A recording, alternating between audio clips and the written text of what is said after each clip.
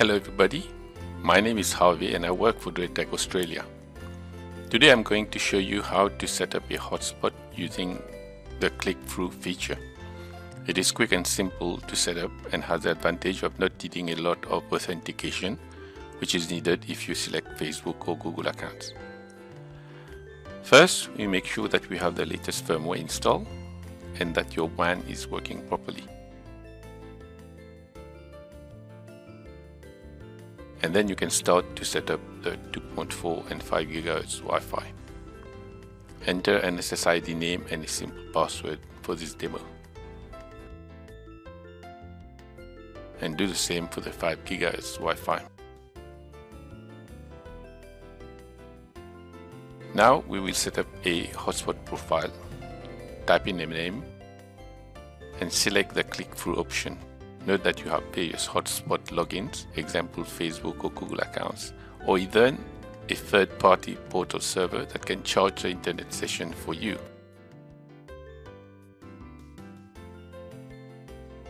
In this page, we will be able to change the aesthetic of the page.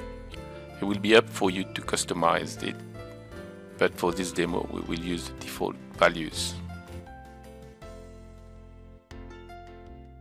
On this page, you will be able to add a few terms and conditions. The client may be compelled to click accept if he wants to continue. You can also customize your welcome message too.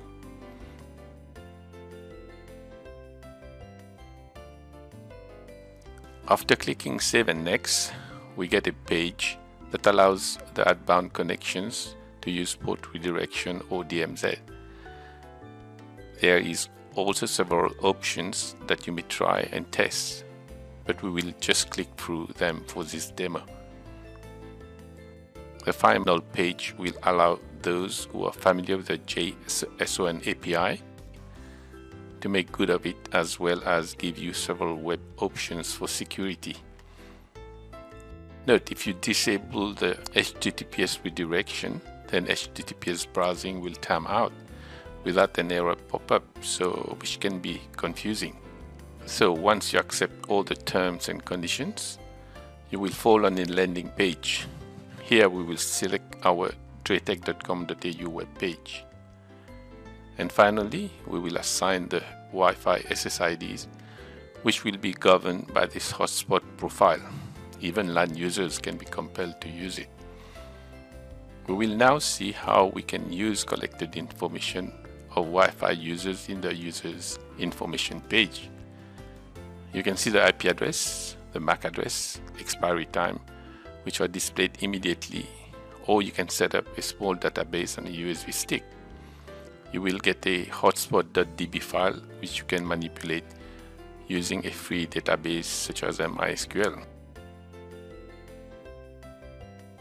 I'll show you where the DB file is stored on the USB Unfortunately, DrayTek routers do not have the resources to manage that database as such internally. Now we have a quota management feature set according to bandwidth limits, session limits, or idle time, etc. Please feel free to experiment with them. Now let's see what the user will get once it's connected to the Wi-Fi you will get the welcome page and you must tick to accept the conditions and then submit. The designated web portal is displayed for the amount of time selected and the internet is made available as per the limit set.